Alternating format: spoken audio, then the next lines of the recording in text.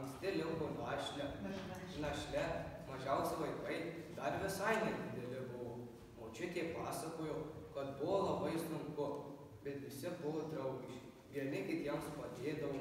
Mama stengėsi užduoti sunkesniuose darbuose. Visi vaikai buvo labai muzikalūs.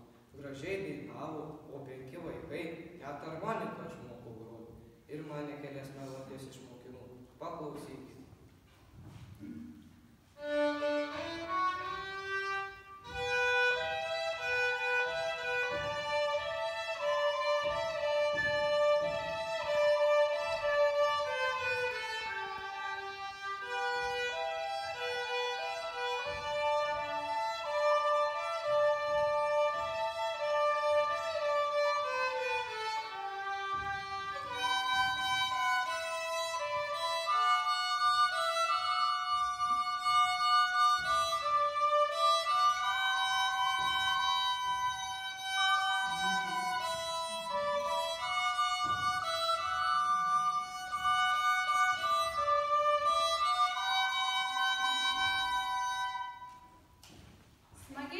nuogręžiai, kojos pačios į viršų kyla, gal dar